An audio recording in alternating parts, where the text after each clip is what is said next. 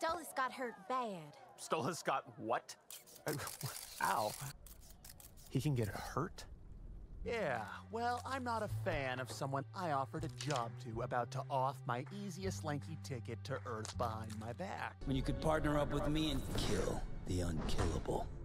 Starting with the one that treats you like a plaything.